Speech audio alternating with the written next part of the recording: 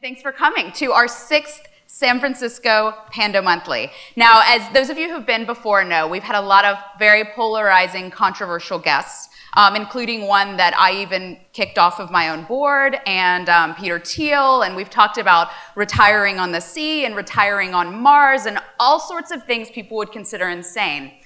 But I think our guest tonight is probably one of the most polarizing people. Um, when I actually went to Google Mark Pincus, you know how like there's always the auto fill in. Mark Pincus jerk came up first. Usually with someone who has a multi-billion dollar company, it's Mark Pincus' girlfriend, but it was, it was jerk. Um, so, uh, you know, one of the things that Mark Pincus has gotten a bad rap for is being very hard on his employees. Um, New York Times sort of went after him for this. They said that he screams at employees, works them to exhaustion. Um, those of us in the room who work at startups know that some of that just comes with the territory. Um, so our own Kym McNicholas went to Zynga to see just how bad things were, and she got a slightly different side of things. So we are going to go to a video. Here is Kym McNicholas at Zynga.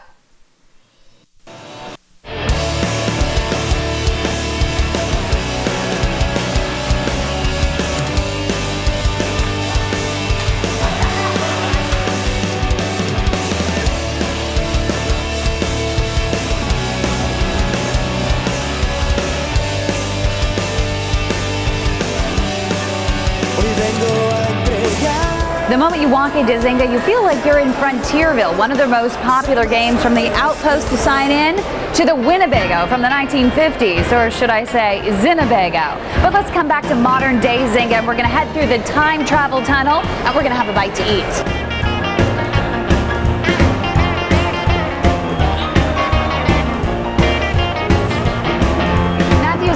Executive chef here at Zynga, and what he won't brag about, he's a little bit humble, but he used to be on the Food Network, and he was the youngest chef instructor over the California Culinary Academy. So tell me what you have going on here and, and what you're actually serving. I mean, it seems like it's, it's a pretty big production. Yeah, we got a nice busy lunch going on here. We have a beautiful Vietnamese menu, and in a little bit, uh, we have what we like to say is the best burger in San Francisco. That's made in-house.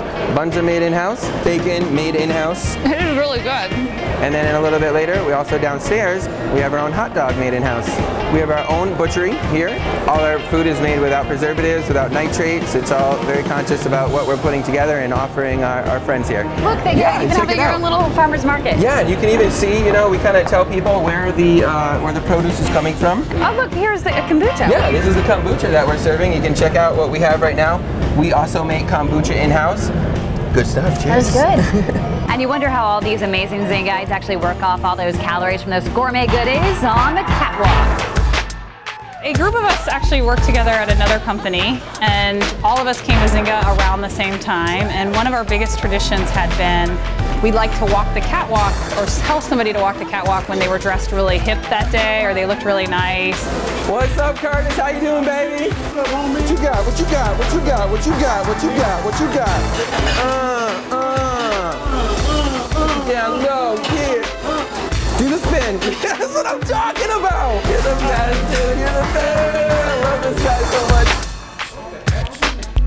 3 p.m. push-ups. You've been missing out. So this happens every single day. 3 p.m. push-ups, right?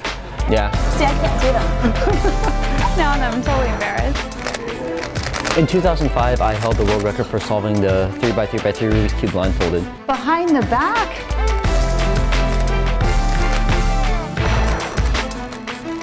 No way.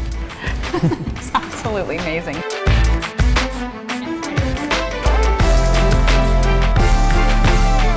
With all these different amenities that you have for employees, I am really curious, you know, what the culture is like today and, and can it make up for what we've heard about the Zynga culture from its real startup days. I mean, there were a lot of rumors that Mark Pincus was really hard on his employees, that he was working them to exhaustion. You had, you know, some of the folks that they acquired that just seemed miserable, you know, being here. And then there were rumors of Mark actually taking back stock options. Now, that wasn't really founded, but some of the others have seemed to be legit. How has that changed in the past three years since you've been here and since the IPO? Mm -hmm the Mark that I know and that I work with is a very passionate dedicated person. And I think he's been really transparent over the years about he's had to grow up as Zynga has grown up. He had never worked at a, a really large company before. And I think startup entrepreneurs are really passionate and focused and dedicated and they just want to get the product out and sometimes people don't necessarily understand or appreciate that that passion. They don't know what to do with it. And i think also the people that you hire sort of early on are not necessarily the people who know how to scale and grow a company. And so one of the things that we did one of the first things i did was help to hire in a great management team that came from larger companies that knew how to scale that knew how to grow who knew how to manage larger groups of people and we've had very low attrition in the three years that I've been here, usually less than 3% negative attrition, so people leaving the company, which is unheard of in the Valley.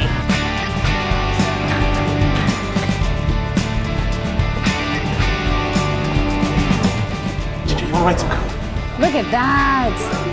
Are you helping your daddy? Everybody's having a good time here. Everybody, everybody.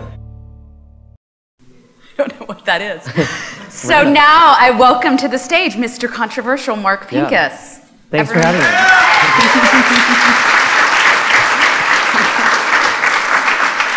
Now, one of the reasons I wanted to start out and show that video is because you could come out here and I could ask you about the culture and all of those reports, and you could say everything was wonderful, and you know people still wouldn't believe you. Um, in fact, when we posted that video on the site, um, a lot of people said, "Oh, well, you know, Mark Pincus must be an investor," and I think you're like the only person in Silicon Valley who isn't. So, um, so let's just get like right to this issue right up front.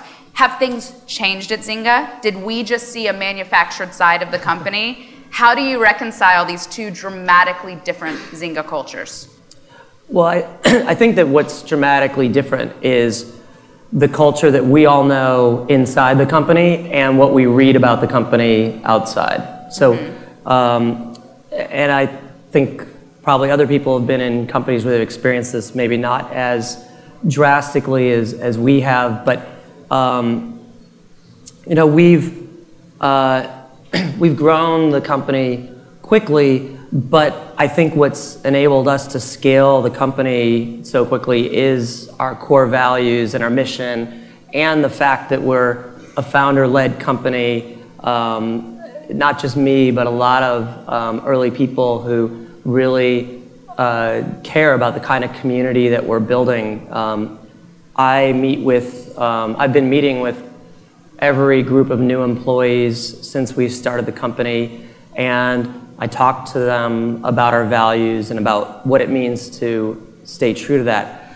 I think that there, I can't really explain to you why uh, there's been a different perception of the company in the media, um, but you know, we went from in March of last year being on the cover of Fast Company as uh, one of the most innovative companies in the world to in the fall, uh, you know, other major publications um, having a very different viewpoint of us. Um, and I don't think that we changed, our mission didn't change. Um, so I guess I, I, don't have a great answer for you other than our, our company grew to 3,000 people faster than probably any company in the hi history of Silicon Valley. So that was four years, and I think Google was something like eight years. So we probably went through a lot of the growing pains that some other companies had in much faster um, order. Um, and, you know, as Colleen said in the video, which I didn't even know we were making, so I don't think it was actually manufactured, but um, we we had to, we scaled past a lot of people's capabilities quickly. And so we, um, you know, you might have a VP of marketing who was doing a fine job when you were um, a 150 person company who wasn't, um, who's fairly far out of their realm when you became a multi-product company with 500 people. Mm-hmm. And that's a different job than being a company of over 3,000 people and you know, dozens and dozens of products in the market. So how do you handle that? Because I think that's a real pain point that a lot of entrepreneurs go through. And I certainly saw this at TechCrunch. There were people who were in jobs, you know, I, am sure going back to the earliest days that just, it, it didn't totally make sense when we were, you know, six years old. And, you know, I imagine with, you're talking about thousands of people, that's even more pronounced. Do you hire differently at the beginning thinking we'll be 3,000 people one day? Do you are you just upfront with people? Do you fire people? Do you find another role for them? How do you handle it? Well i think it's all of the above that we've gone through. And and the, the biggest answer i have for you is that i think we all experience this that that as especially if we're fortunate enough to for our companies to grow it's a constant learning experience. And and i think as long as you approach everything uh, with humility and curiosity, and you just say, and you don't ever believe that you have it figured out or anyone else around you does, and you question everything, I think that you will, in the end, be in a better place. You might make some mistakes, but so for us, let's see, every all the answers you said sounded right to me, or like we've gone through them. So one was, are you upfront with people? Overhire. Well, are you like, upfront with people yeah. from the beginning? Mm-hmm. I was. So I knew from the beginning that I wanted to build a large company. And not just a large company, I wanted to build a, a brand and a product and a service that would matter in the world and had the chance to matter 10 years later. Because mm-hmm. I'd been through a bunch of startups, as you know, and, right. and people called me a serial entrepreneur, and I said, that's only because I've failed. Right. So I aspired to never be a serial entrepreneur. I, I, and I, I believe the entrepreneurs I respect the most are the ones uh, who've never had to start another company. Right. So I don't see that as a badge of honor. It's fine, but to me, the, I respect the people who are so passionate about what they want to do in the world and the impact and they're able to scale with it and so you and don't right. buy this thing in the valley that everyone goes around saying like oh well i'm just the guy who gets things going and then there's another guy or i'm just the guy who comes in maybe later. there's people like that but i I've said to lots of groups of entrepreneurs that the hard lesson that I've gone through in my career is that if you really want to build things that matter and last, I think you've got to aspire to be a CEO, not just a great entrepreneur. Because at the end of the day, the CEO of the company is going to set the direction and the priorities and decide what you stand for in a way that nobody else can. And so I don't think you can delegate or outsource that. If, if you, and you might have to because maybe you can't scale as CEO, but I think that, I think it depends on how ambitious you are. If you're so ambitious that you want to build things that could last and uh, have that kind of world impact, then you, you might you might create something so powerful. I have I kind of think Twitter is feels so powerful to me that it, its um, product, opportunity, and mission has a good chance of outlasting the founders, mm-hmm. and that's awesome. Um, I think we that's even better, but but I think that you're putting it at risk yeah. if you're not. I, I think even Twitter would say, had they had one CEO from the beginning, had they not gone through three different CEOs, three different cultures, two board ousters, they would be a stronger company. I mean, it's taken a toll on them. We can only guess that in retrospect. But, right. But so I was I was upfront with everybody. What I learned in previous companies and tried to get right with this one was whether it was early employees, investors, I said, here's the path we hope to be on. We hope to build a long-term company that matters, that um, that will always follow this same mission. And I said, we're never going to sell the company. Mm-hmm. Um, there is no exit. And I've said, my only exit is um, by natural causes. um, so not some un- other unnatural cause. Um, so you are going to be the CEO of Zynga for the rest of your career? That's what I aspire for. I mean, that, that's what I hope for.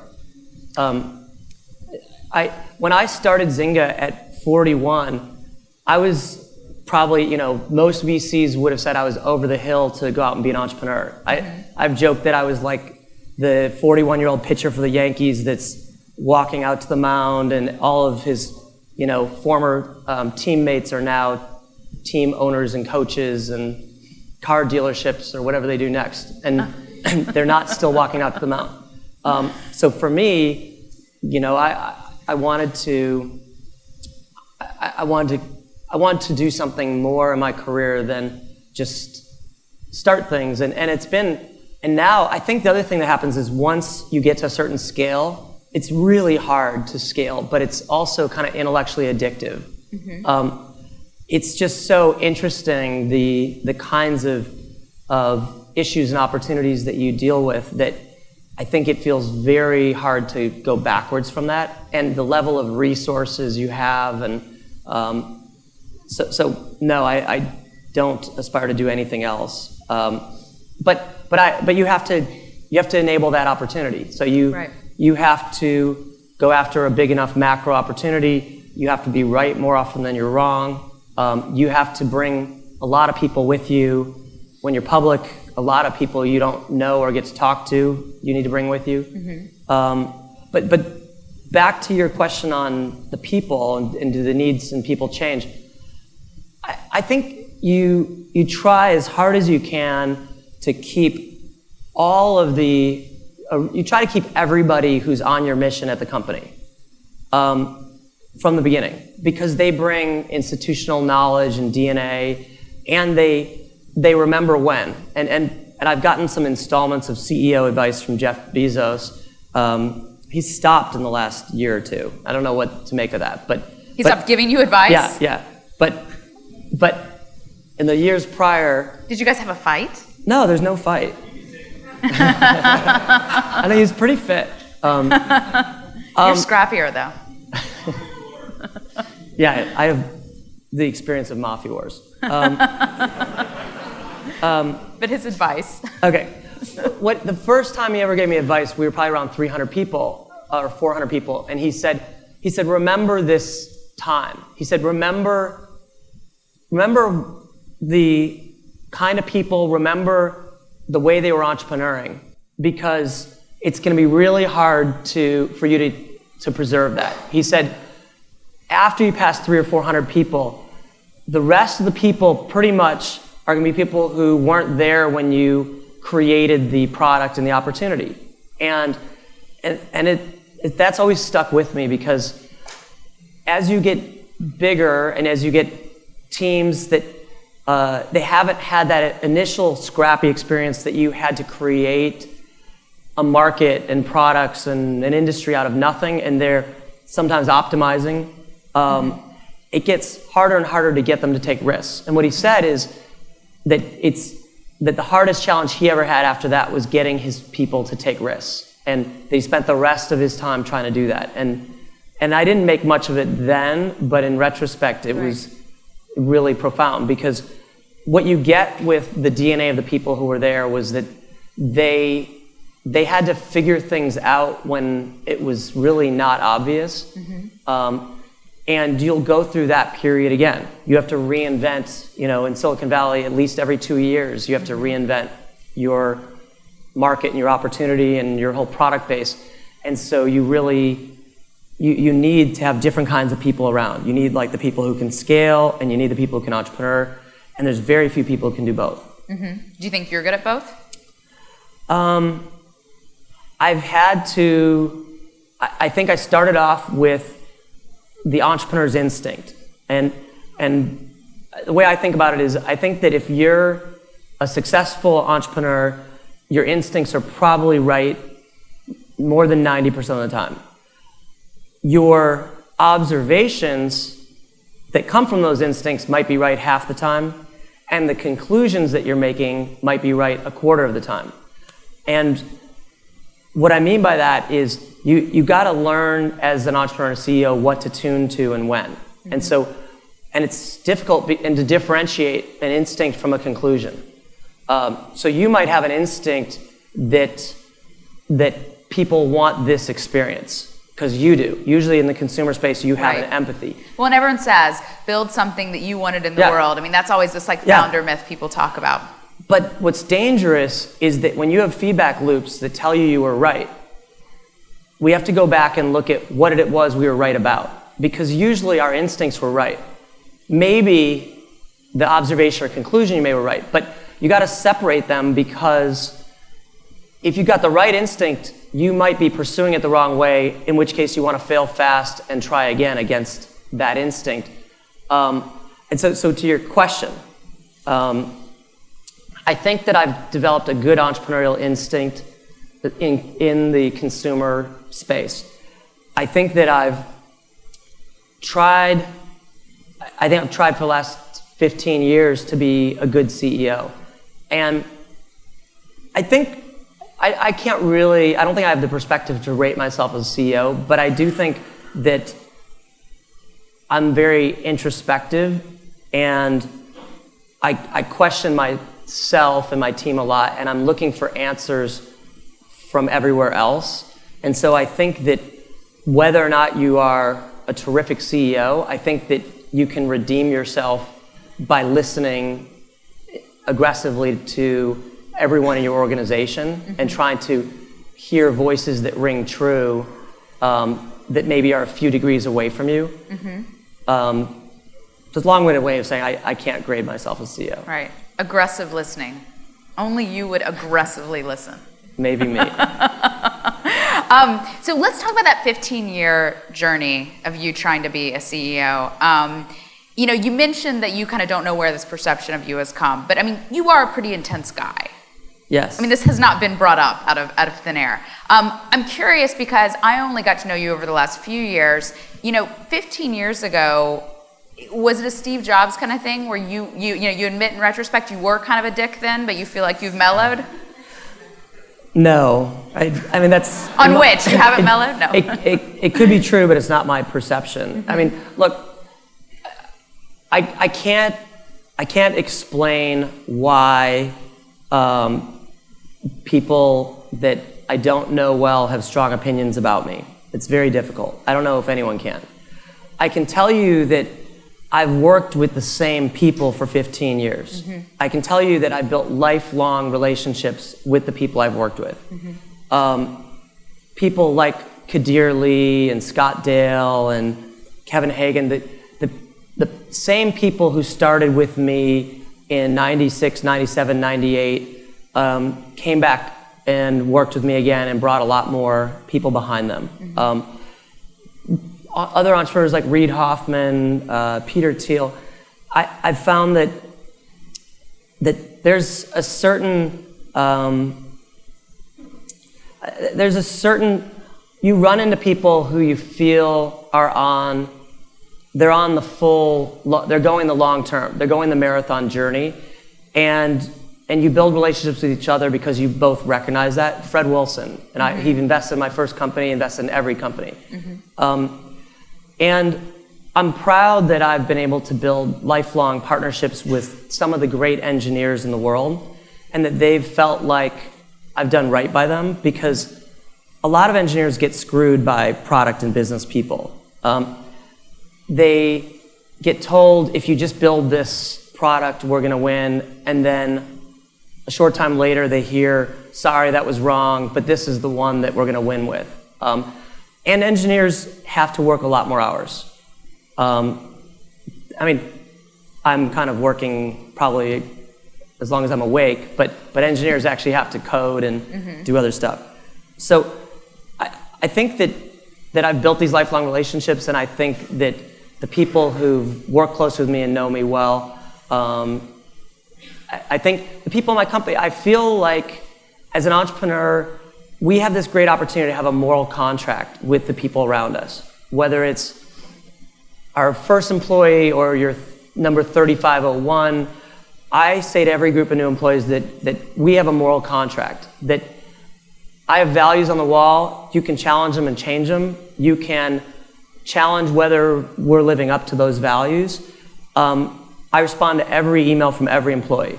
Um, um, you've a lot of things that I think are some of the best practices we do in our company seem to get reported as horrible things. Like They're, what?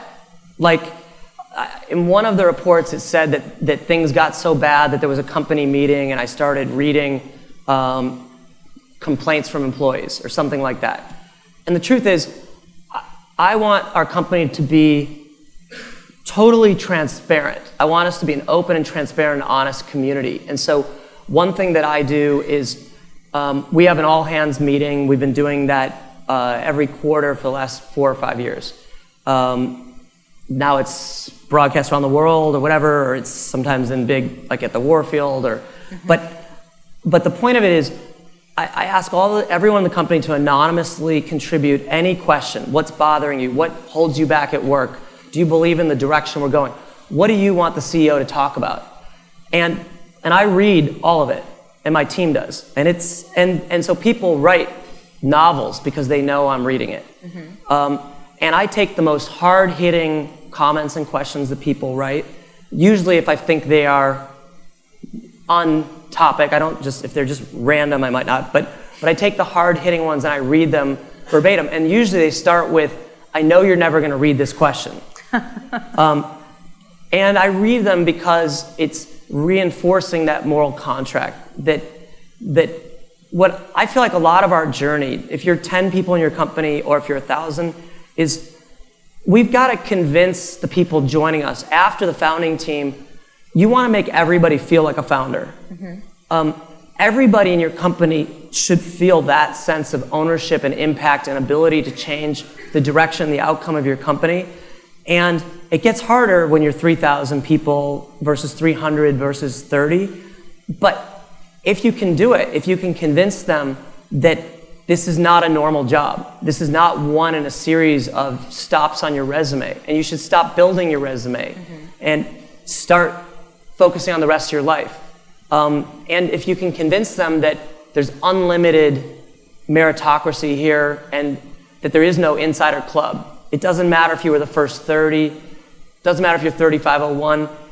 You ought to have the opportunity to change the world here and just leverage a bigger platform and know that if you give everything you've got, we're going to accept it, appreciate it, celebrate it, reward it, you know, and, and you're going to level up. Mm-hmm. So, how do you think the culture of Zynga changed when things started getting more opulent? I mean, Silicon Valley is known for having sort of these nice, fancy offices, but like you guys make your own kombucha, you have a chef from the Food Network. I mean, it like it's pushing it a little. I mean, do you well, have a problem let's talk about if people, opulent though? but, but do you have a problem? If, I just want to get this like this out. So, do you have a problem if people are coming to work for you because they see that and they think this is going to be cushy? Sure. I, we we want to be scrappy and hungry even while we're having good food. Mm-hmm. Um, I, I'd say I believe so. I had a fundamental belief when I started the company that I think we should live better than our VCs.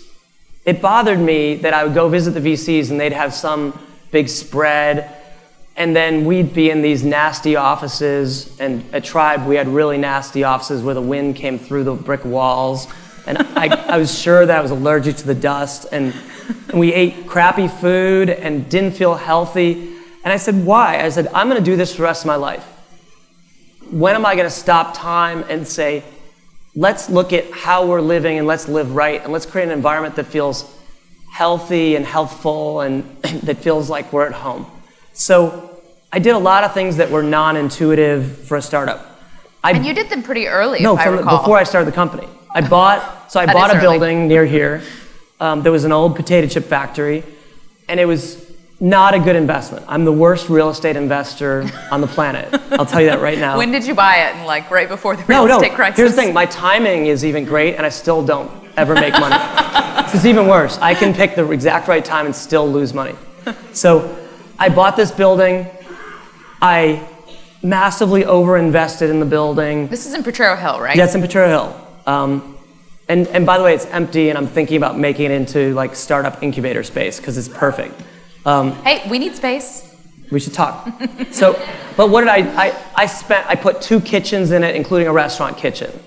I, I had decorators create like green living walls, and I, I just said, how can we make this just awesome space that we feel energized by? Um, and that was, I started that before I started the company by a couple months. Um, and I, I put three million into the building, and then I turned around. Of your money or my VC money? My money. so we put three million into the building, and then I turned around uh, six months later, nine months later, and raised five million. Um, the five million was a better investment than the three. um, but, but, and, and I just bought our building, you know, for 200 and something 1000000 um, now with Zynga and with the building we're in now. Um, I believe that, that your building and your space really matters a lot. And we, we were across the street from the Culinary Academy. And I said to my office manager, we ought to be able to hire a cook because we were eating horrible food. And so he kept coming back and telling me that um, next semester the bursar's office was going to let us put something up on the bulletin board or something. And so I got really frustrated, and then Zynga the dog and I went over there at lunchtime, and I just yelled, "Who wants a job?" and I love that the dog is like your muscle. Yeah, she is. She was, she attracted the men like flies. She was the rock star. You might have met her. Um, but so all these people swarmed me. It was they're all smoking, which was kind of funny. Um, and, and they actually hadn't learned about cooking like healthy organic foods. So they had to learn that. But but so and and they were all students and they were excited to have a job across the street doing anything. And so we hired a lot of them. I, I think we were 18 people and we hired cooks.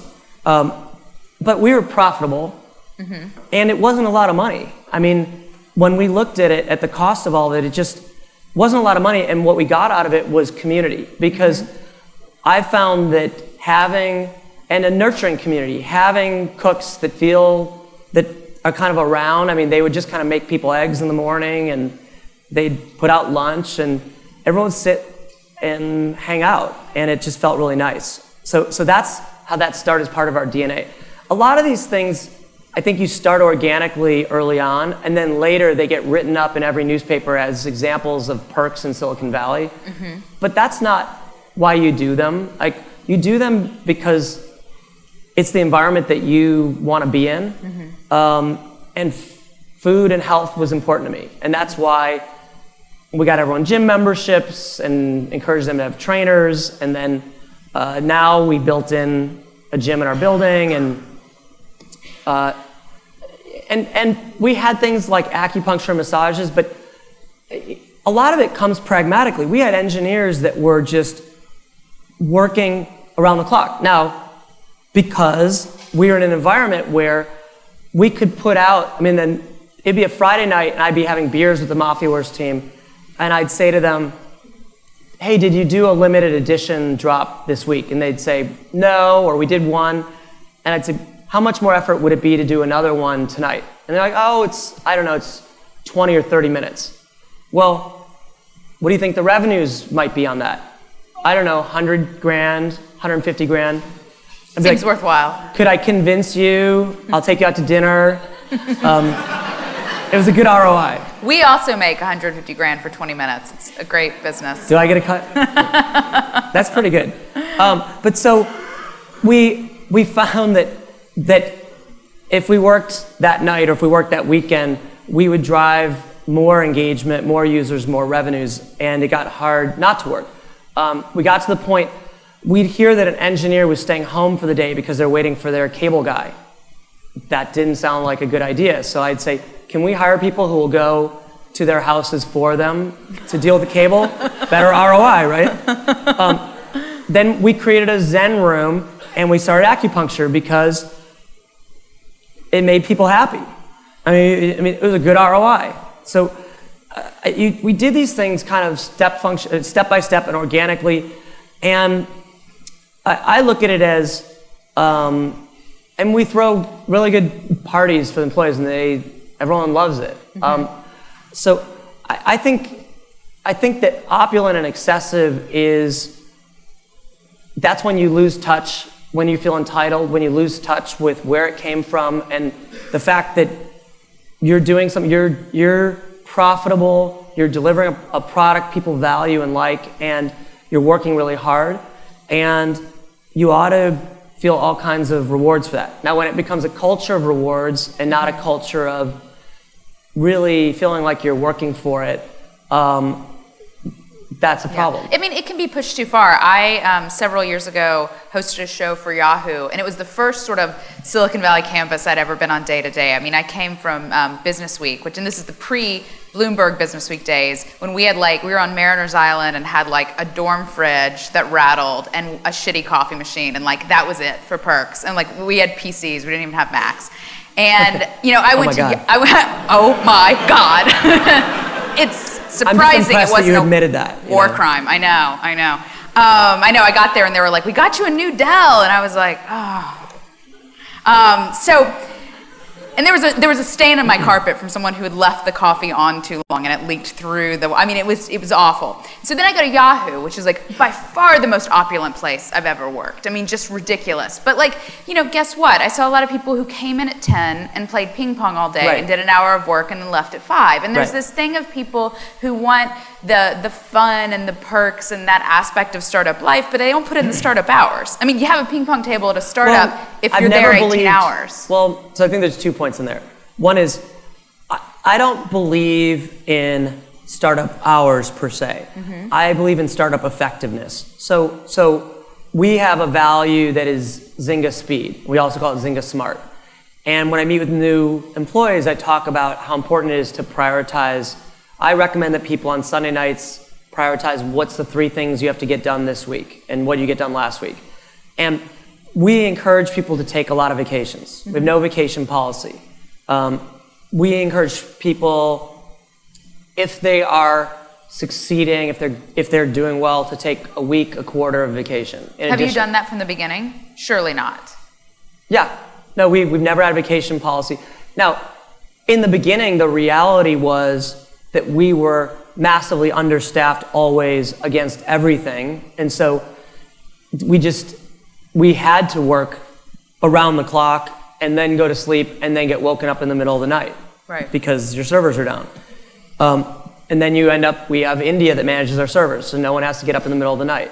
But, but what I was going to say is that um, I think that if you can, I, I want, we want people to manage their own schedules and calendars. We want teams to decide when they all need to be in the office and when they don't. We don't see an honor in being there late or being there weekends, um, and we don't reward people for doing that. We want, we have objectives and key results. We want to see teams deliver experiences that delight people and hit their objectives and work smart. So if they can work themselves out of jobs, that's great. So, so that's not really the way we think about it. But, and where you talk about opulence or ping pong or just having fun, to me it's whether or not people are on your mission. And I think we all want to be around people, we all want to be on a mission and we want to be around people who are on a mission. And I, look, another reason why maybe um, I'm not always the most popular is we have a, uh, we're pretty rigorous about our meritocracy. So every quarter we review everyone in the company, and we've been doing this since we were much smaller. And we give them feedback about how they're doing. And if people are low performers um, for whatever reason, we let them know that and we tell them, hey, we need to see you become a higher performer. And if not, we think you might want to find another place. Um, that's not popular um, all the time, but and people can be low performers for lots of different reasons. But I think it's really important. I think your your culture can get stale, and the high performing people who are on a mission can get diluted if you have people around who don't share that mission. And if they don't see a differentiation between them, then they feel like, and, and we started, we have awards, we have an Atlas Award. The people who are backbone people who are holding the company up on their back, who maybe aren't recognized for that uh, because they're in a partner group or whatever, but they're the ones who heroically keep things going. Um, we call them out and, and you know, give them awards and make sure that they feel recognized in the company and that that's really respected. Now, one thing that I always thought was really um, was really interesting about you is, is something that, that I think you have in common with Tony Hsieh from Zappos. I mean, he always had this very counterintuitive um, way of running Zappos, which was not to maximize profits, frankly. And like he was going to have local customer service. And if they needed to spend 18 hours on the phone with someone, they would spend 18 hours on the phone with someone. And, you know, he had a lot of things that seemed, you know, free returns both ways. Buy as many shoes as you want, send them back. Things that, if he were a public company operating that way, people would, would just be losing their minds. Um, but he made it work. And, you know, that's one of the reasons they got bought for as much money as they did. It was, it was everything that that built in consumers' minds, not that they were, you know, selling shoes. Um, now, I remember in the early days when you were starting Zynga, you know, we were still in this period of Silicon Valley where everyone was really prioritizing being lean and being really profitable and not spending any money and not raising a lot of money. And you know, you were one of the companies in your space was a company called Playdom. And every time I would talk to people in the industry about you and Playdom, people would always say, "Well, the Playdom guys don't need all this money. Right. They don't need all this. How are they building a company and putting up the same numbers? And how is Mark Pincus running around spending all this money?" And I mean, I remember you were always like, "Let's just see how this plays out." Like, I mean, it, it, but it kind of pissed you off. Well, I, I'd say that the other thing I've, I, I think Jeff Bezos has shown us all is that your company doesn't have to be understood perfectly all the time by people on the outside. Um, he's gone through long periods where his, the investments he's been making have been misunderstood, where people have said, you're never going to make a profit, or why are, and he hasn't even told the world he's, that he was building a Kindle or a Fire or whatever. Right. Um, I think that we have gone through periods of not being necessarily understood or respected by the game industry on the one hand, or web startup pundits and critics on the other hand. And it's kind of been okay. I mean, um, yeah, we, we were, I, I, I definitely think that I've been called stupid at every point in building the company by the outside world. I, and sometimes called stupid for you know exact opposite things. Um, spending too much spending too little or doing but um, I, I decided from the beginning and i think what i'd say i think if you're all entrepreneurs in the audience we all share this together is that you've decided to stop building your resume and so have i.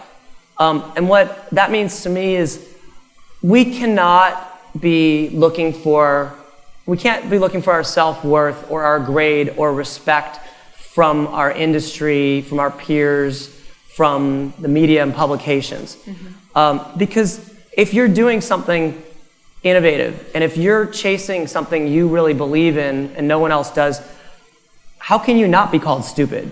If everyone thought it was smart, they'd all be doing it. Um, so mm-hmm. um, I was investing at every step of the way far more than anybody else, any other company in this opportunity, because I believed in it more. I think we're still investing far more. And oftentimes you're investing in the face of a lot of uncertainty. And so anybody can look. I got asked uh, yesterday at the Fortune conference um, do you think uh, that the 200 million for OMGPOP was a stupid acquisition? Mm-hmm. Um, it's only the second large acquisition we've ever made. Um, if, if you worry about whether or not you're going to look stupid, you're not going to take enough risks. And if you don't fail at some of what you're doing, you're probably not taking enough risks. Um, so I resolved myself that, uh, that the respect may come a lot later. Well, it seems like there was a period of time when everyone thought you were amazing. And then now you're kind of in the doghouse again, so to speak. It comes and goes. I, I think, thank you. I got one fan. I know. He said oh. he, um, he said he liked me too, though. So that's you know. well, I mean, look. The, the, other thing that happens if if your company is successful and if, and if you have a consumer product and it's successful, you're going to become higher profile. Everything you do will be watched by more people. That higher profile will probably happen faster than you're ready for it or aware of it, and that can be fun. Sometimes, usually, it's not um, you find out that you weren't really looking to be famous in that way. Mm-hmm. And, um, and then once that happens, you're going to go through cycles where you feel like you're getting more props than you deserve and more criticism than you deserve. And you realize no one's ever going to get it exactly right and you stop caring about it. I mean, you get thick skinned. the only place that I really care about it is the impact on my employees. It doesn't really impact our consumer press, which is much more about our products and what's happening in the culture. But um, for the employees, um, you want you want to give them positive feedback loops to be proud, and and it's frustrating for them when they are proud and they see that we're winning and doing great things, and then they don't see it reflected in the outer world. So that's where you have to start to pay more attention to it. Yeah. Um, I want to talk a little bit about your journey and how you got to Zynga, and then we'll get back to talking about gaming a little bit towards the end. Um, so you were this guy who was always around the valley. I mean, at least as long as I've been in the Thanks. valley. And, um, you know, I always. I always sort of vaguely, you know, knew Mark Pincus was a guy, but I'd kind of be like, what did he do again? I mean, so it's like you, you weren't a household name, but for people who lived and worked here, you know, everyone kind of knew you. Um, so, you know, I don't even know how did you get to the valley? I got here. Um, I think so. So I, I had uh, an internet consumer internet startup called Freeloader um, in 1995 that got acquired in '96, and it was in DC. We were the only internet company in DC, so I was early. Um, Kara Swisher covered us. We were the first internet company she covered. Oh, wow. She doesn't like me reminding her that she was the media and theater reporter. um, and we and the Washington Post clearly thought this is what the media person or theater person should cover. Um, It's worked out well for her. uh, she has she did that in AOL. AOL was a better beat. Um, but but uh, so we were in the process of moving Freeloader out here. I think I think for a lot of us and probably still today, it was a little bit like Close Encounters of the Third Kind. I just knew we needed to be in San Francisco. I just knew that if we were serious about internet um, and new media, that I needed to be here. I couldn't even say why. I just felt like I needed to be in a community where everyone around me was immersed in that, and it was what people talked about in the coffee shop, not politics. So, so we were moving here anyway, um, and we got acquired, and then it's a whole long story. You know, the CEO, we got acquired by a public company. The CEO got fired uh, within months of that. My partner Sunil Paul and I were the two largest shareholders in their company. Um, the board and team didn't want to hear from us. You know, other people have had this story, um, and um, we kind of had to stay there for a while, and they wouldn't let us grow or shrink. And uh, we we were in the Hamm's building around the corner. We hung out at. Uh, Blowfish. It had just opened. No one was there. It's just us there every day. Um, and and then and I found in, in my career, and probably a lot of you've had this, that I kind of went through periods. So after that, I kind of went through a great period of being unemployed. Um, I hung out in Cole Valley for a summer and like never left Cole Valley. Um, and, and then you get bored and you want to do something again and you start working on projects and one of those became support.com which was a successful profitable enterprise software company in the middle of the dot-com boom. So no vc wanted to know anything about us and kara swisher said hell will freeze over before the wall street journal will ever write about tech support software. Um, and she was right. Um, but we went public because at the, at when everything else blew up, we were kind of the only company that was there and had real revenues and profitability. Um, it wasn't sexy, but um, but it was a you know a real company. Um, and and then I came back to my passion in consumer internet uh, with Tribe and social media. Right. But but um, I'd say that I I had a passion from the beginning. I had the bug from the start. I started at the same time as Excite, you know, not long after Yahoo, and I always wanted to create one of those. I, I called them the digital skyscrapers. You know, I, I always want, and uh, John Doerr called them internet treasures. Um, Marissa clearly thinks it's still an internet treasure. Uh, we'll see.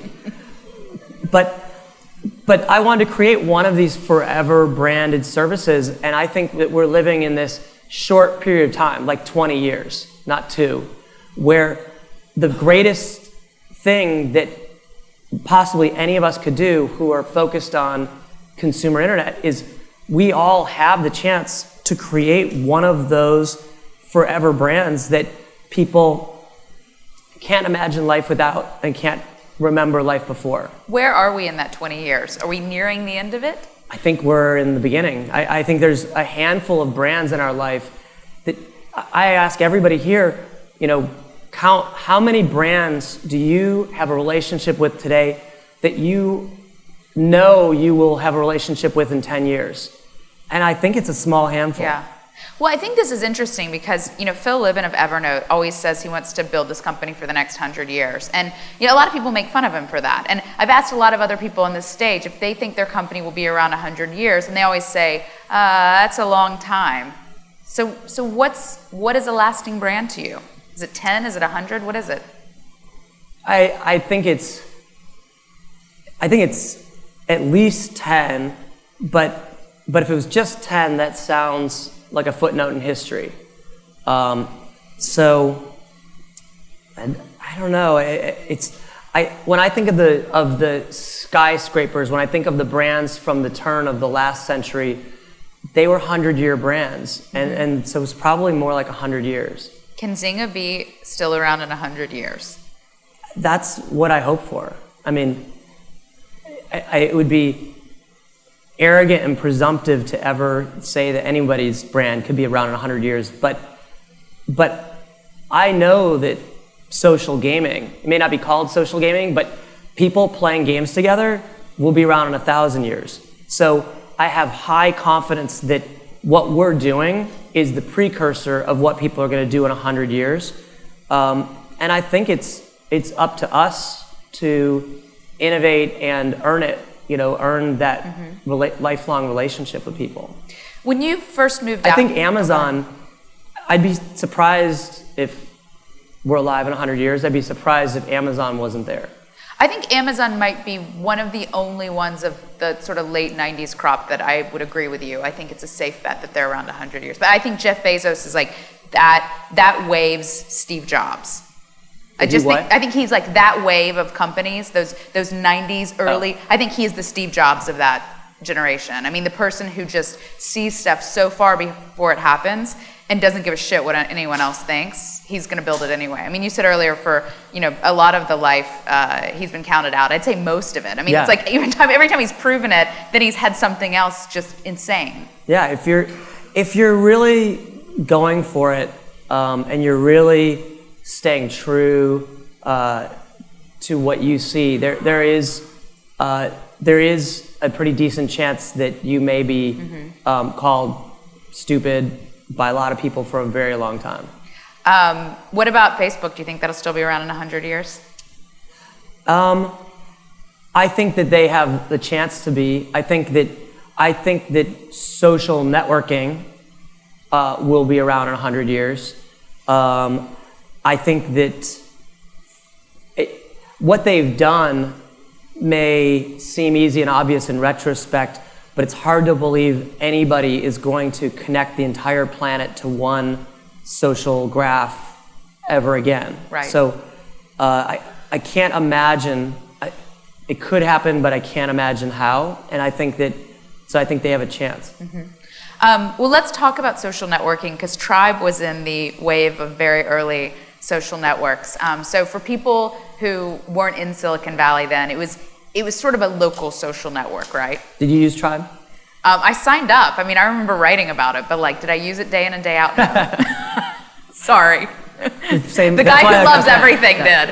Um, but it was, I mean, yeah, because it was the sort of San Jose Mercury News tribe group. Um, but it was this, there was this weird tie-in. I don't tie-in think Sarah's admitting the real tribe she was in. okay. Don't try to embarrass me. It's my job Sorry. to embarrass Sorry. you. um, but it was this weird sort of local social network. It was tied to, to daily newspapers, which today would sound insane. Why did that make sense then? Um, I think that I, I, I made a lot of mistakes with Tribe, mm-hmm. but one of them was I, I overestimated how fast um, social networking would become a pervasive normal for everybody. And I wanted to jump to the next generation. So what I wanted to do was build um, a peer-to-peer way to to do listings, do kind of Craigslist with more pictures and trust. Um, and I think we had a lot of the same people who were on Craigslist, but once you saw pictures of them, you didn't necessarily trust them all. So it was it was a very San Francisco, uh, you know, kind of mission Burning Man crowd who were more extroverted. Uh, I, I, I knew it was a bad sign when my girlfriend at the time, who was like your quintessential cute granola preppy marina girl, um, did I just get in trouble? Um, I know one of our reporters is dating one of those. So What? One of our reporters is dating one of those. So Um, one of- I'm not saying that. the first time I met her, she said, "Oh yeah, your house is in the Mission. I don't travel there." So tribe, you know, fit within that mission vibe and not. But she represented the, the audience that we really needed to get because it turns out that was more like the rest of America. Um, now I'm really digging my hole. well, I mean, I live in. I'm a homeowner in the Mission, so you were, you were digging a hole with me, but that's okay. No, I, I think like I should weird. be like getting props with you and digging my hole with everyone other than you. So with, with you also, I'm really screwed. So um, with, with Tribe, I, I thought that we could create this trusted listings business. I, I thought that we could get people finding roommates and jobs and apartments. And, and we spent a lot of time studying what had worked about Craigslist and how it caught on in, in one market and then people would spread it because they liked that concept to another market. Um, but it was also a mistake to partner with the newspaper companies. I, I thought that the newspaper companies had no other option other than to go and support free local listings. And I didn't realize that their other option was to go out of business. So they, they chose B. Um, it's another quote I will regret.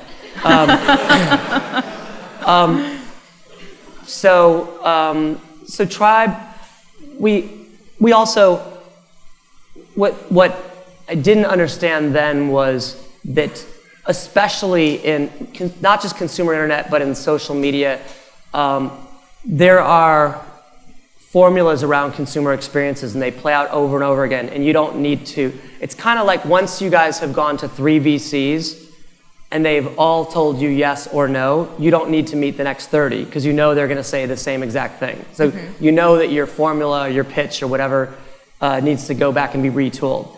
And it was similar, you know, we didn't have that formula and experience right, and we didn't iterate and test it a lot more times. And, and that was really, in retrospect, it was just stupid. Um, and the number one thing we got wrong with Tribe was trust.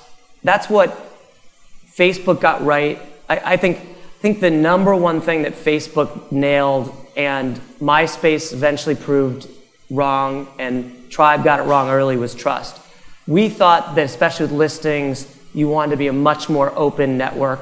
Um, and that's what made uh, mainstream America and people not feel safe. And, and people said a lot of times, you know, your products are extensions of, you know, the personality of the founder. And I liked Burning Man and I was an extrovert and I just thought everybody else wanted to connect with everybody too, and they didn't. Now, I know you're really good friends with Reid Hoffman, who's an early supporter investor in Zynga. Um, he was also in that generation of those very early people uh, experimenting with social networks. Um, what do you? I mean, LinkedIn's really the only big survivor out of that wave. What did LinkedIn do right? Well, number one is trust.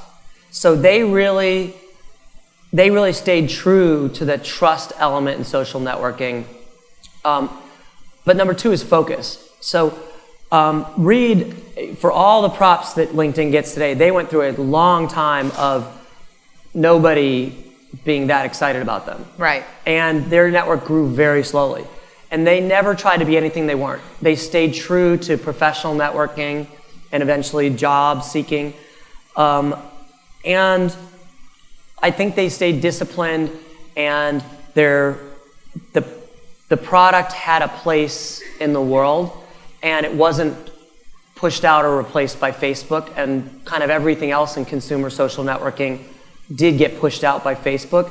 But even after Facebook was there, um, there was a clear room. People wanted to keep their professional networks separate. We even on Tribe tried to give you different profiles, a professional, a, you know, a friend profile. And I, I think that especially the consumer internet people want very focused activities around brands and experiences, um, and they, they don't want them to be more. And so I, I think he really stayed true to that. Um, and they, they, they were patient in, in building that. So you've started companies that have failed. You've started companies that have succeeded. Um, I'm sure you've seen lots of different sides of venture capitalists through all of that. So for other entrepreneurs in the room or watching this, um, what are like the three things that people should absolutely not do when taking money from someone or in the process of raising money? Three things. Um, number one, um, I think you should. I'll say what I think you should do, not not do. You have to give me at least one not.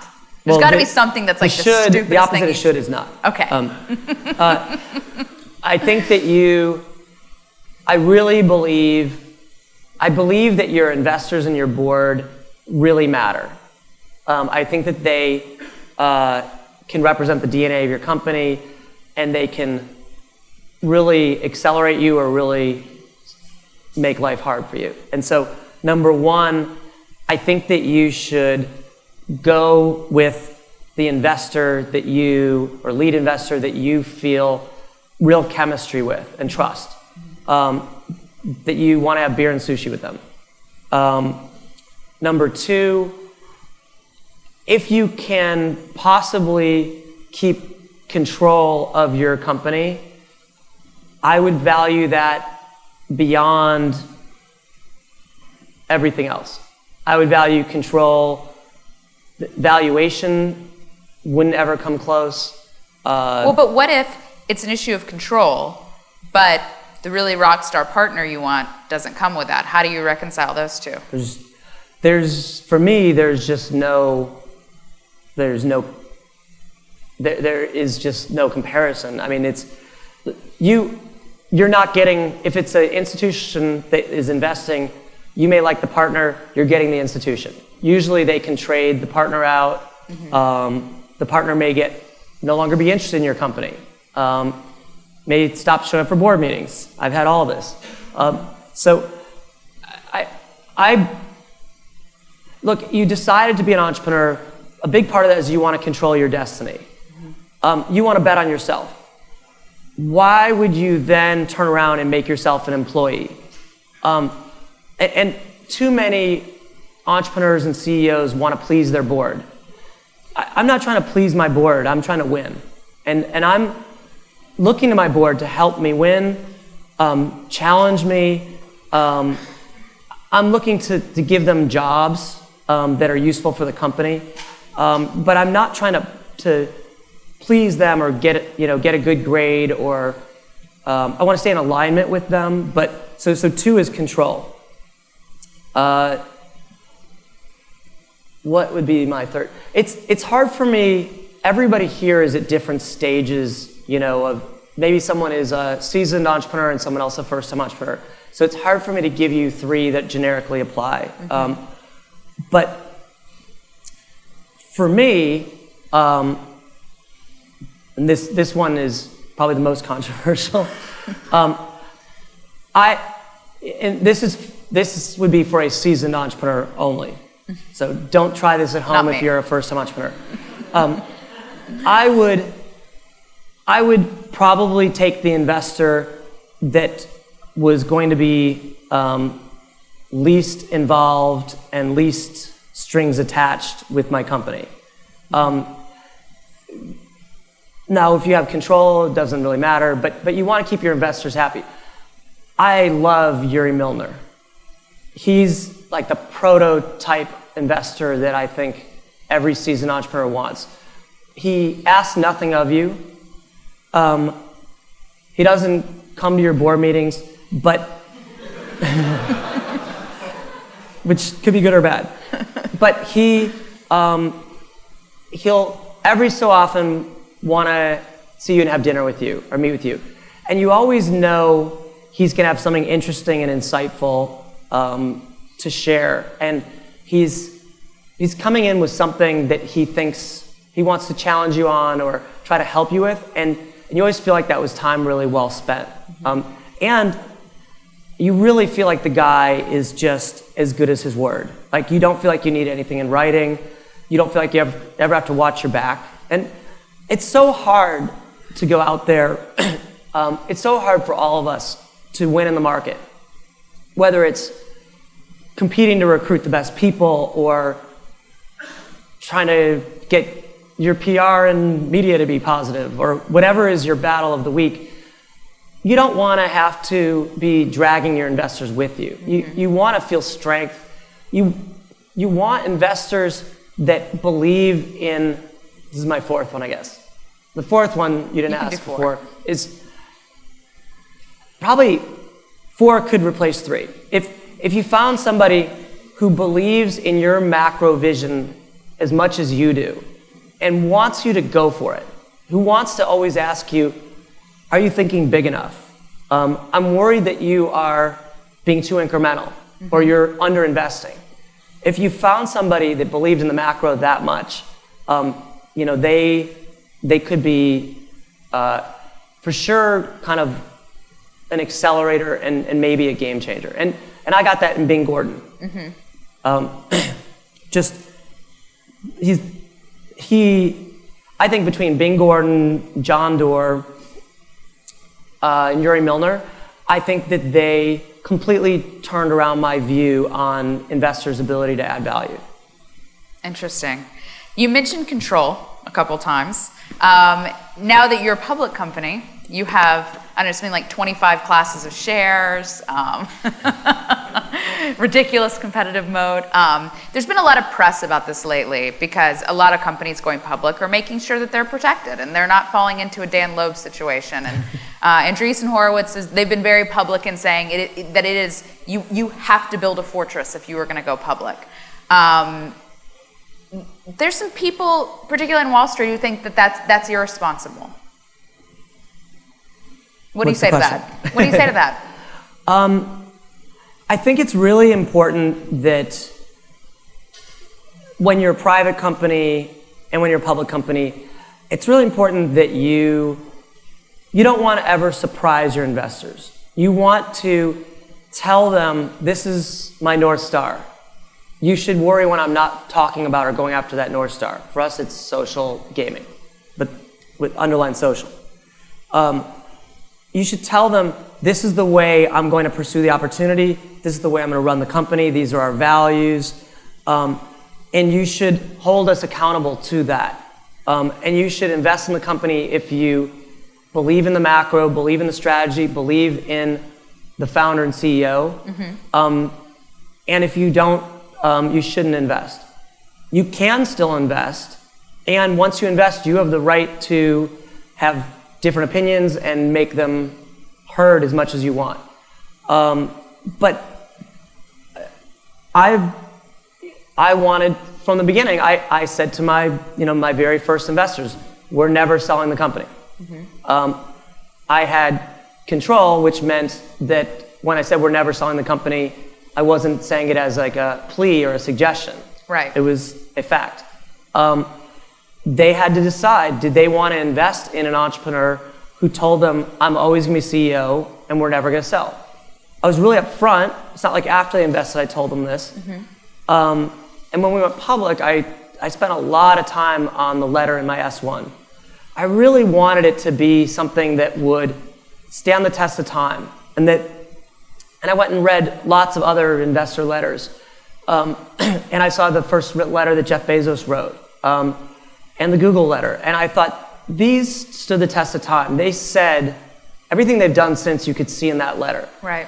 And, and I tried to be really upfront. And when we went on our roadshow, we specifically spent all of our time meeting with long term, um, long only growth investors. Many, the bulk of them weren't investors that buy IPOs. Because I said, you may not buy our stock now, but you're the kind of investor I aspire to buy our stock someday.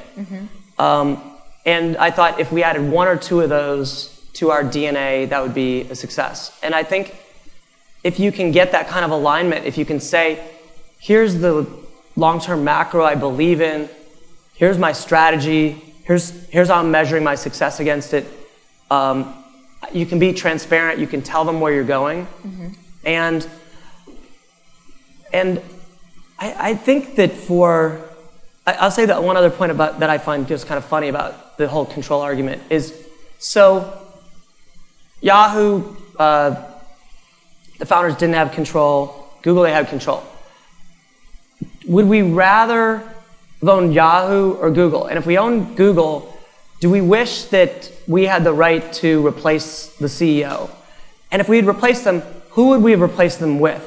So if you could have replaced Eric Schmidt or Larry Page today, who is there in the world that you're going to get who's going to be a better CEO? It's that's a hard job. Mm-hmm. It's complicated. You need to have, I believe, you need to have roots in the product experience and the technology. And it's hard for me to believe that you could hire someone from the outside to come into Google and get the respect of the engineers and be so core to their long-term mission. Um, there's very few, I don't know that many post-IPO tech companies that have successfully brought in non-founder CEOs later and been better off for it. In fact, Apple was the opposite. Right. Um, Dell. Dell. Um, I, I think you need, I, I just believe that as a consumer internet company, your company is your product. Your product experience, it is your brand. And so I can't imagine a, a CEO that isn't your chief product officer. I, I can't imagine a business CEO that delegates product. Um, and that's, it was hard to see how that would work at Yahoo. And that's why I think, you know, I think Marissa is such a terrific person for the job there. Right. Um, if I were Marissa, I would have negotiated with Yahoo's board for control. because what if she has to do things that are unpopular for a while, but are in the long-term interests of Yahoo users and shareholders? Do you think it's too late for Yahoo? No, no. I, I think that I think it's very hard to change people's behavior. I think that uh, that there's they're number one in lots of product categories in lots of countries. Um, I think I think it's a matter of focus, though. I think that they are too many things, and I think that Marissa's probably going to go in and say, what's what's the core that we can represent? As people think out 10 years, what can Yahoo be? Um, they may have to be a smaller company before they're a bigger company. Um, now you said a few times that with Zynga, you know, you want this to be your job, um, I guess, until you die or retire or hopefully retire. Um, is it how much of that was your stage of life and what you had not accomplished as an entrepreneur, and how much of it was the opportunity for social gaming? I I wouldn't, I don't think it was either. I think I aspired to do this for my whole career. When I started Freeloader, I hoped that I would do that for the rest of my career, but I failed. Um, I can't say that I hoped that Support.com or SupportSoft would be the rest of my career because I wasn't passionate about enterprise software. I hoped that Tribe would be the rest of my career. Um, it's hard for me to imagine anybody doing this and not hoping that. I mean, Right. it's kind of like marrying somebody and thinking, wow, this is going to be great for the next two years, maybe five, but I'm kind of thinking about what's after that already. Um, it doesn't I'm sure there like, are people who go into marriages thinking that. yeah, maybe it'll work. Um, that doesn't seem like the most grounded partnership.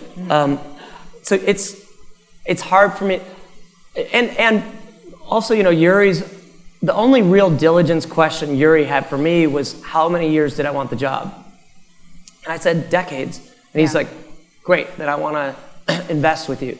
Um, it doesn't feel like it's stage of life. I think that as you get older, you appreciate it more. Yeah. I think that as you realize how hard it is to get the, everything aligned, the opportunity, the talent, the, the market, everything, I, I think you realize just how just rare and special Yeah. and you i think you have more appreciation but but i don't think it's for me at least it wasn't a stage of life. Mm-hmm. It was just rest of life Well, I'm curious what was different doing starting this company when you're 41. I mean, I'm 36 and starting my first company, and and I don't think the 20 year old me could have. I mean, I, I couldn't have gone out and got raised two and a half million dollars from the people I did. I wouldn't have the contacts to have you on stage. I mean, I, I don't think the 21 year old me could could have gotten started starting this company. So to me, as much as we hold up young founders for the media business, there's just there's just no way. That, I, I don't see how you do that, and so I think it's an advantage that I'm old. Um, you seem young to me but it's kind of funny because around when i was starting in 2007 um, in 2008 all of the media at the time if you look back was writing about how they thought you maybe had to be under 30 to be a successful consumer internet entrepreneur And so people were asking me questions then of how do you defend your age? When, when Mark Zuckerberg and all these other people are under 30, look how successful they are, maybe you're too old for this. Um, so I, I think, I think that there is, that maturity always helps you having, developing your EQ further. But I, I'm really impressed with Mark Zuckerberg as a CEO. Um, so I don't see his age. It's not obvious to me that his age is limiting him or the company. Um, I, I, the, the rate that he absorbs and grows and matures um, is impressive. But I haven't seen a lot of people like Mark Zuckerberg. Right. Um, I don't think any of us have. um, you are a dad of twins, which was a fairly new development you had, as your wife, Allie, was also starting One Kings Lane, another company. I mean, that's that's a lot at once. Do you? We talked about sort of the, the age thing, but what about just phase of life? I mean, I started my company at the same time I had a baby, and I have to take at least two hours a night off. Yeah. You know, when, when Arrington was building TechCrunch, he didn't. yeah. Is that an advantage, disadvantage? Do you think about it or you just I- accept it? I don't know if I think it's an advantage, but I, I was, the reason I barely made it here on time was that I was with my girls, you know, uh, at the office just before I came here. Um, I, I made them uh, a little conference room called the Princess Suite that is connected to my office. Um, they come to work uh, a couple days a week and they love it. Um, and I, I, they've actually opined on games. They've said they're, they're even before two years old, they had good opinions. Um, they like or don't like the art. Um, I, I think it's, I don't really, I, I don't think it's slowed either of us down. I, I mean, and I don't think, I don't feel like we've sacrificed for a working person. We haven't, and but they're a massive priority. I, I cannot. It, it pains me to not be with them when they wake up and when they go to bed. Yeah. Um, and Those I'm- are the two best moments in your day as a parent when they wake Yes. up and they go to bed. and they're the two best bonding ones. And and they decided early on, I don't know why, that they love me changing their diapers. So whenever the diapers are really bad, they say Dada, and I'm I say, Do you want mommy to change you? Dada. Mommy or daddy? Yeah, and they'll walk and chase me around saying Dada. So, but since they want me to do it, I, I feel honored to do it. Um, and I, I call it I call it doing surgery on your butt. I, you know, I I can totally. I don't Is that know how TMI? Many, no, there's no such thing. I one of the first PandoMonthlies I had. This is a rare one that I don't have Eli here. I usually because I'm of the same school of thought. I just bring him on everything. Yeah. I just take him everywhere. And um, right now we're out of my home, so like everyone in the company knows him very well. Um, and uh, it- one of the first ones, there was like he was crying, and I was like, "Who would bring a baby here?" I was like, "Ah, me." Um, but there, it is those moments when like they're just a terror when they're so sick when they're so whatever, and you're just like, oh my god, this is awful. But it's like right when it's over, you're more bonded to them than you've ever been. I kind of feel I've taken up surfing in the last couple years, and as you try to move your surfing ahead, you try to swim through bigger and bigger waves that pound you worse and worse. But the benefit once you get past those waves is, you know, better surfing. So I feel like it's kind of similar that, that they put us through a bigger and bigger gauntlet, and they kind of, if you can survive it, they, they love you more for, for having sat through an hour car ride with them both just screaming at the top of their lungs. Although I've taught, they, we all three make up games, Georgia uh-huh. and Carmen and I. And, and Allie doesn't always love the games, and one of the games that we've made up is screaming. So one of the three of us. Why start, would she not like that? we usually do it at inopportune moments, like in a hotel lobby, or. and so one of the three of us will start screaming, and then the other two will start screaming. Uh huh. So it's one of our games. that's that's that does not sound like dad behavior. That sounds like big brother behavior. Yeah, Screamville, Screamville exactly. Well, I'm I'm trying to teach them to break rules. we'll see how that goes when they're teenagers. Yeah. It'll bite me. It'll bite me later. Yeah. All right. I, I want to get back to Zynga real quick because I know we're running late. And I know the audience wants to ask some questions. Um, so, so let's just get through a couple of things. You, you know, you're just at Fortune. I know you talked about you talked about mobile. You talked about the platform. Some of these things. So I didn't want to spend too much time here. But um, for people who weren't there or didn't follow it. Um, I've talked to a lot of analysts and investors who've said the reason your stock is in the tank, and I know you're not going to comment on it being in the tank, but the reason it is is because you're still too dependent on Facebook. Um, didn't help that Facebook didn't have the world's best IPO. Um, you haven't done mobile well, and um, that you're you're still too reliant on being a hits-driven business, and that it's like there's this like churning through and just throwing more stuff out. So, I'd love for before we get to questions, you to respond to each of those critiques if you can. Sure. Um, so, well the, the point that I made yesterday um, was that on the first question of being too, we don't think about it as too dependent on Facebook. We think about it as we want to grow the market for play. So we, we see this as a blue ocean, not a red ocean opportunity. We don't see our growth, we're too big. We can't grow by uh, taking share from other companies. Mm-hmm. We, we have to get to you. Mm-hmm. You know, we have to get to you guys. We have to get to mainstream people who are too busy to play. Mm-hmm. Facebook has been uh, an amazing accelerator of that. People are hanging out on Facebook. They have time to play a little while they're on Facebook, and they're being social, which is why they're there. Now we're seeing, so question two, mobile. Uh, we're seeing people hang out on mobile. We're seeing people hang, in my parlance, they're hanging out on their iPhones and iPads and tablets. And my opinion is that when you start hanging out in these places, you're looking for more stuff to do. It's usually we're not, right? We're busy, we're trying to reduce. But when people first got on Facebook, they were kind of like, what else can I do? This is cool. People are on their iPhones and your Androids, and we're saying, what else can I do? We're in a discovery mode for experiences. And it increases the, the share of your day that you could play. Now you can multitask. We built play to be multitaskable. So um, the, the critique that we've done mobile badly. We announced uh, last quarter that we had 22 million um, daily active users of our mobile games. That was uh, more than twice the size of the biggest web social gaming company. Mm-hmm. That was bigger than any other mobile gaming network.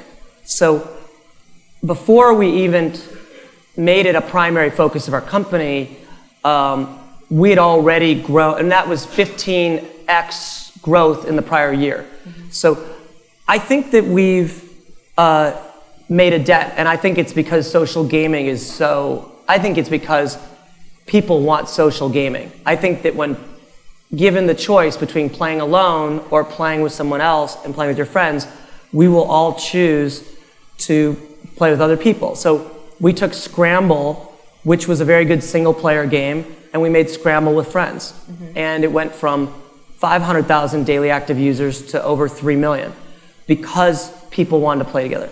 Um, So the third question, Hits driven, two Hits hits, driven. driven. We, our network definitely grows bigger and faster with hits. In fact, we grow social gaming when we have hits.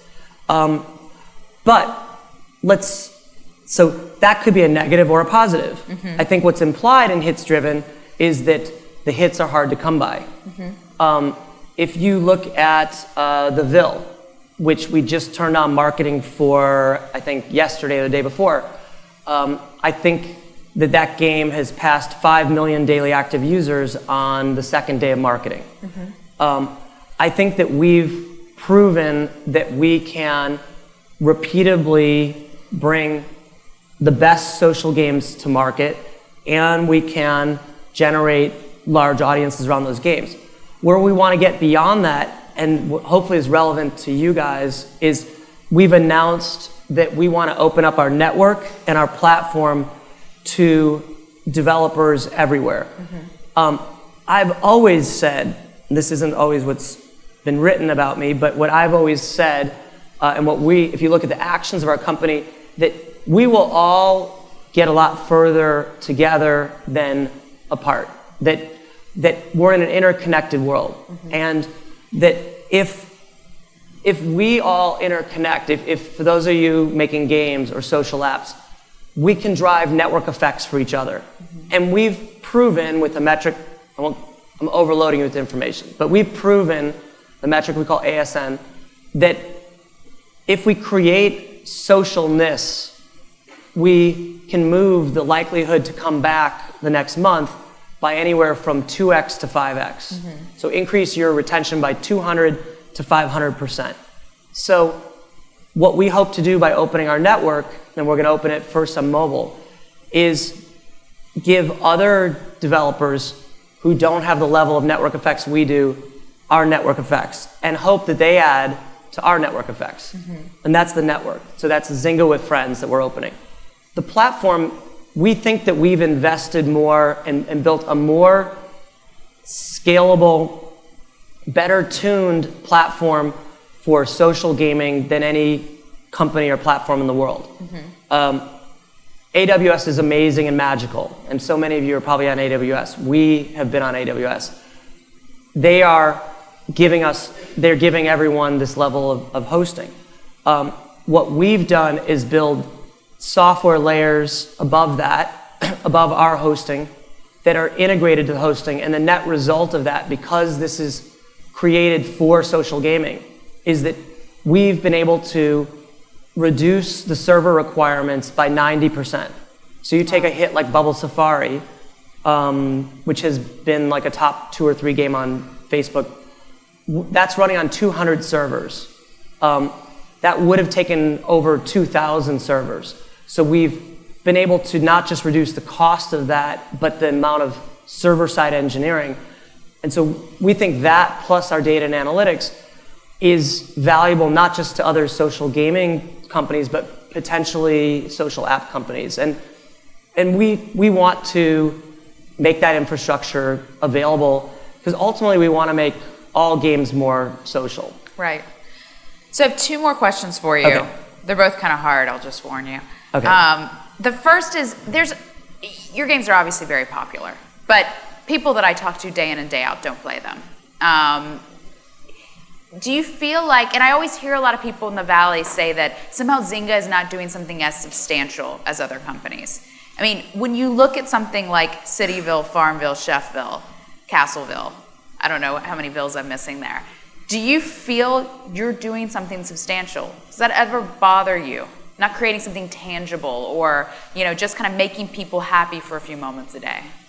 Um, If, if, if we were uh, making the world happy for a few moments a day, that sounds pretty tangible uh, and important to me. But, but thanks. That lady agrees. But I, I think that what we're doing, and I think it's just the beginning of it. And so, where we're potentially criticized, look, in our games, the game industry said that our games weren't games. So they said, we're not going to call what you're doing games. I said, okay, don't. Um, but now the game industry sees that social is an important part of gaming. Um, I, I think that what we've started to do is we've, I, I think that we've helped a lot of people rationalize playing again and give people a more fun way to connect with people in their life. And I think that, I think that maybe less people around you are playing some of our Ville games because we haven't been fast enough to get those on multi-platform and mobile. And I'm the first to admit that. But it's hard. We've tried and failed a few times. Um, but I do think that we've gotten through on mobile with games like Words with Friends and Scramble with Friends, and now we acquired Draw Something because we were so inspired by the level of, of mainstream breakthrough that that could get to. Um, And our mission is to keep innovating to make games more accessible, more social, and feel more free. And I think that when we do that well, people will put play in their life. And I think that when we give you more ways to be social, to express yourself through play, I think that we will let people share emotions um, and ultimately change your social status in some way with somebody. Um, and, but I don't think we're going to do it all day one or year one. And Right. we're five years in, and I think it may be another five years before everyone around us s- says, "Oh, of of course I play games with X, with my roommate, with my mom, with my kids. I mean, why wouldn't I? I, I haven't we always done that? Mm-hmm. I, I believe that'll happen. Mm-hmm. Um, mm-hmm. I believe it'll happen sooner if we innovate and make that. Will it be like photo sharing is now? I mean, do you see that as an analog? That's just like something we all do. It sort of brings us closer. It's natural, but you know, we didn't walk around passing around photos before. Or is it different? No, I think that's a good one. I like that. Yeah, it uh-huh. could be like photo sharing. Right. You can you can steal that Zynga marketing department. Um, all right. So one more question. There's a microphone there, and is there another microphone? There's usually one over there. So if some people want to start lining. Oh yeah, there's one there and one there. If so, you guys want to start lining up for questions. I have one more, and I have a feeling he's not going to give us a great answer. So, then why ask it? um, so I, I want to know. I said anything. I, I, I always hear a very, very different account between what you say publicly about your relationship with Facebook and what I hear privately about your relationship with Facebook. So tell me what they both are. Well, I mean, I, I've so publicly, you guys all. Anytime someone will bring it up, it's like, no, we're great partners. They've really helped us. The new platform has nothing to do with getting off Facebook.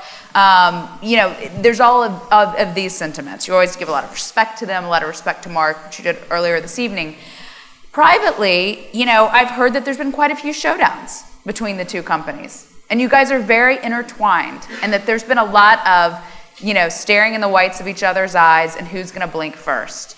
I think that's been pretty public.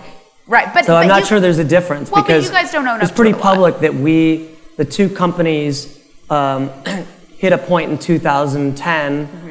where we had to decide whether or not um, what we did was unique in business history. The level of concentration that we have with them and the level of concentration they have with us. And at the time, without a single signed business agreement, we didn't have a single page mm-hmm. of, a, of a legal agreement between the companies. Mm-hmm. We had a click, online click through agreement. I think the fact that we got that far without any agreement, it, the size and scale of business we were running is, is amazing and kind of a testament to Mark and maybe his courage and my craziness. Mm-hmm. Um, and so we had to, we did have to look at each other and, and say, can we, can we get to um, a long-term partnership um, and codify that? Um, but I don't think that that was something different publicly versus privately.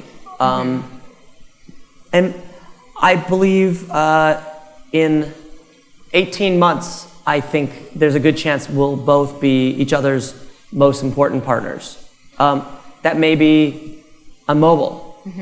Um, and What would be your vi- advice for developers in the room who are looking to shortcut things in a sense by building on top of a platform, but knowing that it's a bit of a deal with the devil? I mean, you're you're at their mercy. Um, What would you mean? Would I advise them to be on a platform or not? I mean, Well, or we're if, all if on a is, platform is on there Apple. something, if, if you're doing it, is there a way to protect yourself? Are there things you did right, things you did wrong? There's as many things that a platform provider has to worry about being protected in the future against as there are for a developer on the platform. And I think, I think that Mark is in this for the long term. I think Apple's in this long term. We're in this for the long term. We're going to turn on a platform. And what I would say is you should see whether you uh, whether the mission of what you want to do is aligned with the mission of the platform because you if they're a great consumer company they're going to stay true to their consumer mission more than they are being a good platform provider apple at the end of the day is going to do whatever is in the interests of its users first and hope that that is aligned with developers um, and i think facebook will um, as well so um, is it a i don't think of it as a deal with the devil i think it's the way you do business today How bad did things get between you in 2008? 2010 2010, um, excuse me. how how bad did it get? I mean, both uh, both companies were um, very um, prepared to uh, to break up, to to go their own way. We were prepared to offer our games off Facebook, and they were prepared to not have our games. Um, What solved it? Mark and Who I, blinked? what? Who blinked? I, I don't think either of us blinked. I think that Mark and I sat in a room and we both said until very late at night because he stays up late. Um, and we both said we think that this is in the interests of our users and our companies, and we just have to figure out how to make a partnership work. And and at the end of the day, I think we said that we trusted each other. Do you still trust him? Yeah, I, we're good friends. I, I, I trust him, and I think that he, um, I think I trust that he's going to stay true to Facebook's mission. I don't think, um, I think that's the only thing that you can count on. That he's going to go whichever direction he thinks is in the long-term interest of Facebook being an internet treasure. And for me to figure out where his platform's going and whether that's in alignment with us, I need to look at where that is. And how important was Google in this whole thing? Because, I mean, around the same time, you guys did a big deal with Google. Um, There'd been a lot of noise about their gaming platform. It's never quite. Google um, made an investment in our company at the time.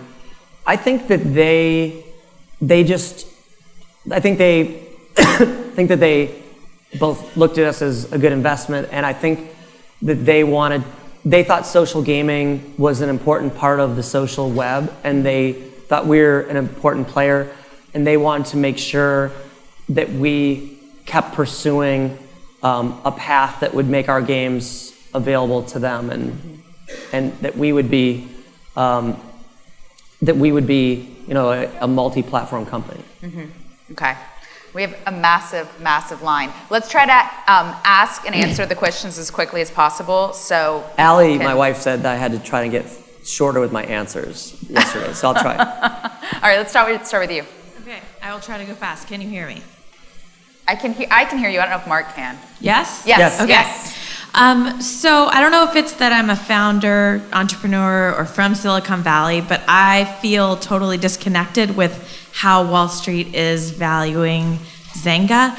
And so even though I'm poor, I've found a way to try to invest because I believe in what Zynga is doing. But what is Wall. Street? What is Wall Street missing? Like, how would you answer, like, if this was a room full of, instead of founders, like Wall Street investors, what would you say to them about your Well, company? So, I, I'd say that it's um, awkward as a public CEO to try to. I, I, it's, I can't tell you whether or not. Um, I can't comment on whether or not uh, Wall Street is valuing things, us or anybody else, appropriately or not.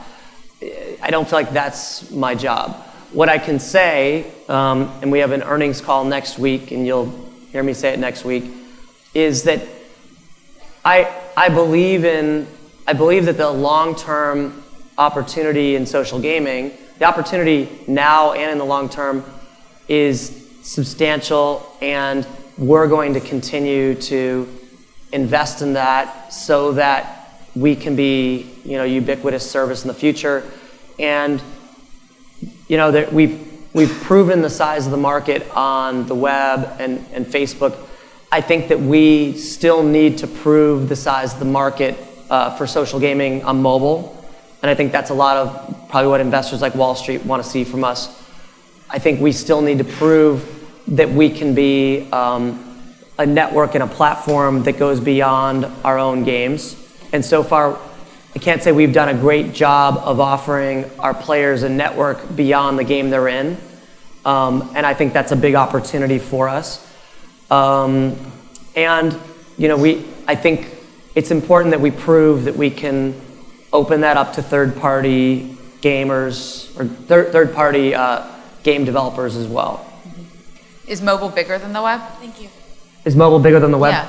It, it is, uh, you have to look at industry reports. I think last year it wasn't. Next year it might be. Okay. All right, let's go to the side. Hey, uh, I had a quick question or two. Uh, my name is Noah. I work at a company called Criticism. We're in the mobile space, less sexy stuff. Uh, my question is, you know, all the time I also cut deals and kind of my word is kind of my bond. Um, so, you know, there's a lot of news, you know, Pincus is an asshole, like, hey, you know, you know, he basically changed his mind. He made a bad deal with employees on stocks and options.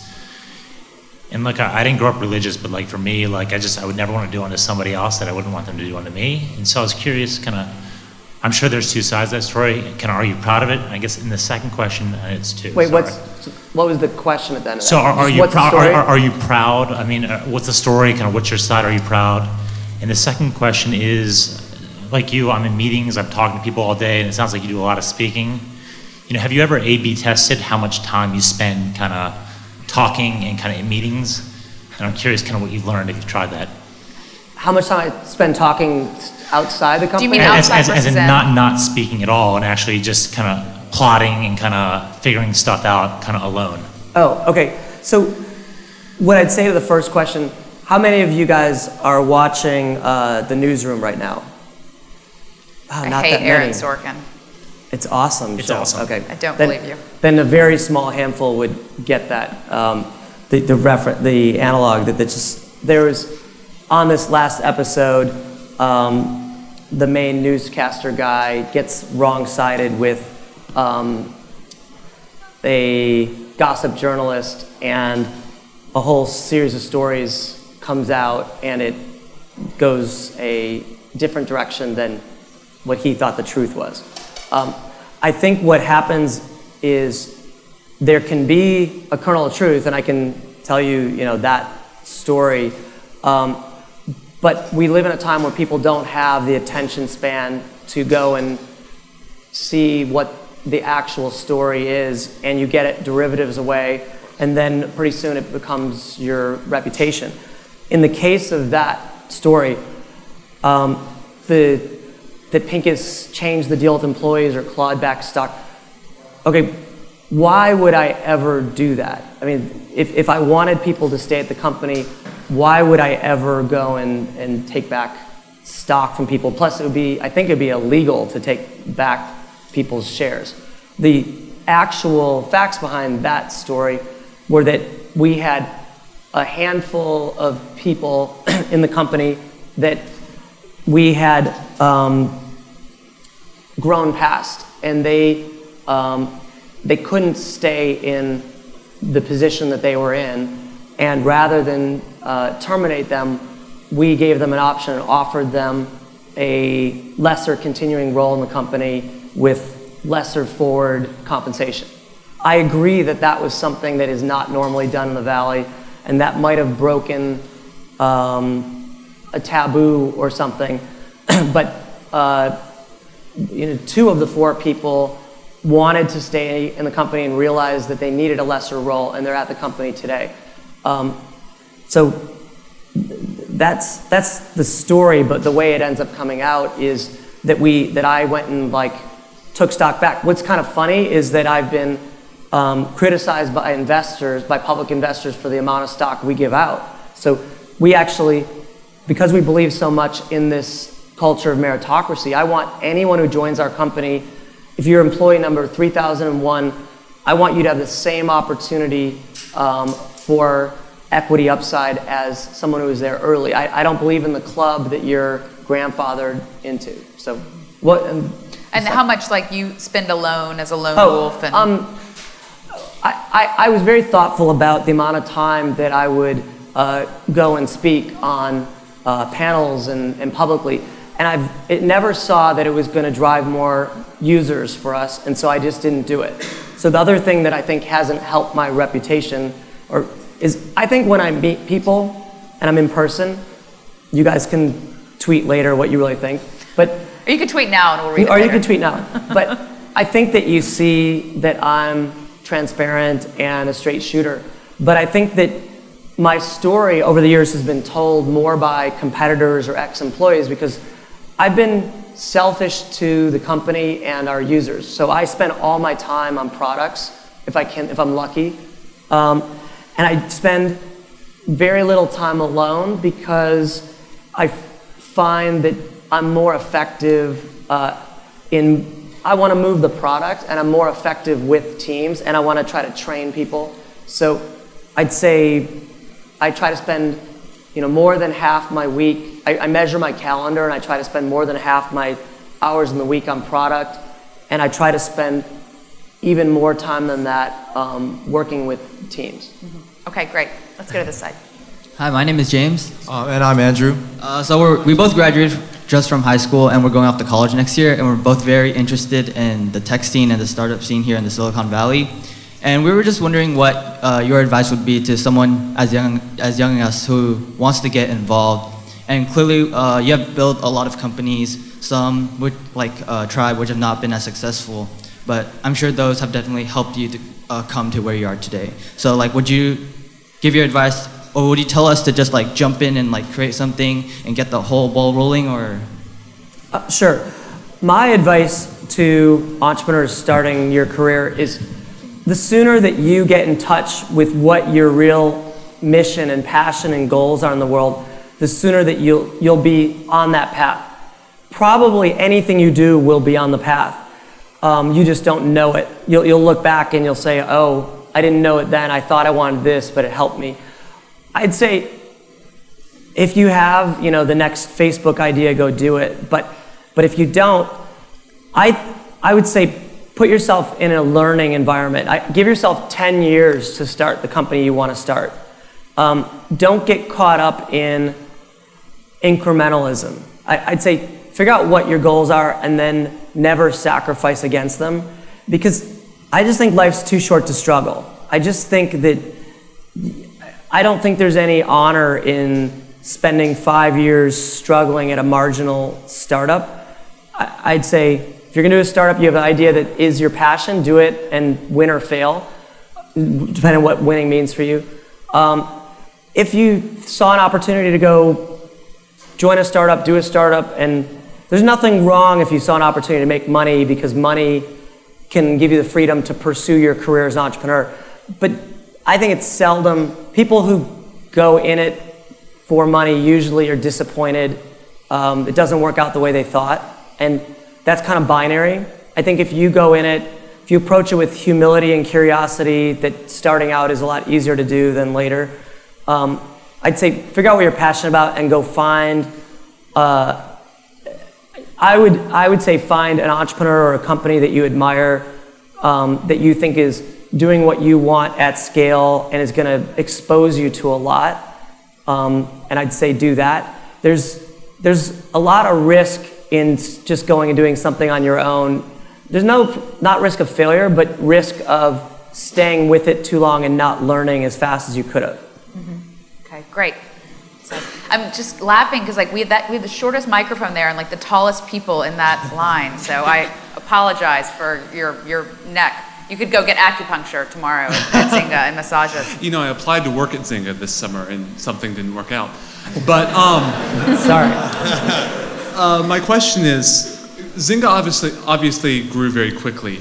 Um, as an entrepreneur and CEO, how do you know when's the appropriate time to bring on additional management? How do you avoid waking up one day and saying, "Oh my gosh, I have way overextended myself to the point where it's going to hurt my company"? Because I know as an as a entrepreneur, you are going to be very far extended, but how do you avoid hurting your company? How do you bring on the right people? That's just, it's such a great question. We clearly should have hired you. Um, um, you I find that if your company is growing fast, um, you can find that you're overextended like every Monday. Because Sunday night I write down my priorities. I don't think anyone can pursue more than three in a week, and I'll see that I have 10. And what I started the practice of doing is when I was overwhelmed, I would write down all the things I needed done, and then I would turn to my team and try to get them to own it.